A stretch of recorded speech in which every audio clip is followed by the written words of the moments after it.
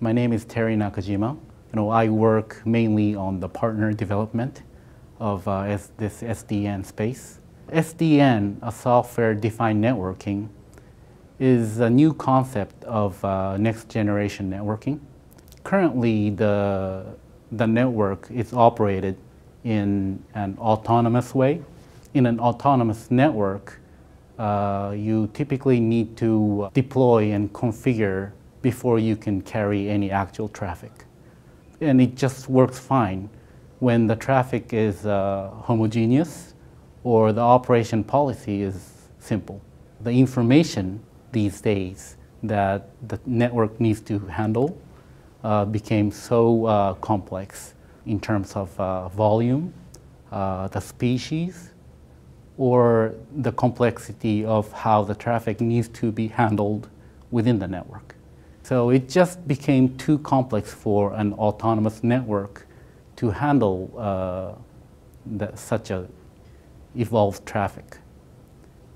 In SDN, the network behavior is defined or configured um, through the program. You can deploy your physical network without having a solid policy according to the traffic that the network is going to carry. But you can define how the network behaves after you deploy the physical network. So that's the biggest uh, advantage of the SDN. And uh, it gives you uh, a lot of cost savings uh, because you don't you know, need to be physically ready uh, to accommodate the traffic. You can pay as you grow.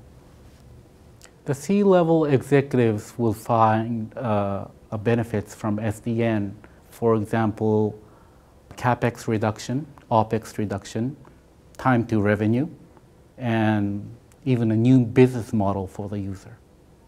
The computer world has experienced a major paradigm shift from um, a kind of integrated model to unbundled model. So, uh, and that has brought a whole new world to the computing industry. And it also uh, brought wealth to the user community as well.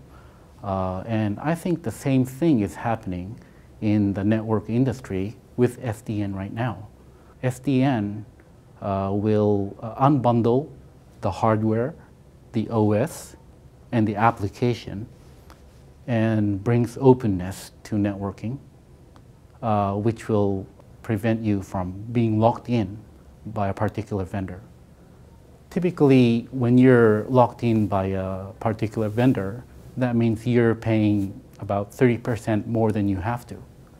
And SDN architecture will help you save money uh, because you're no, you don't need to be locked in by any specific vendor anymore. So NEC has been uh, deploying commercial systems of SDN OpenFlow for two years already.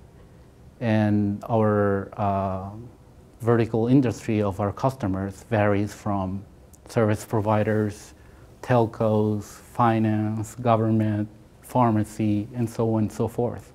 I think uh, the benefit of SDN OpenFlow can be enjoyed in, across all the, the uh, vertical industries.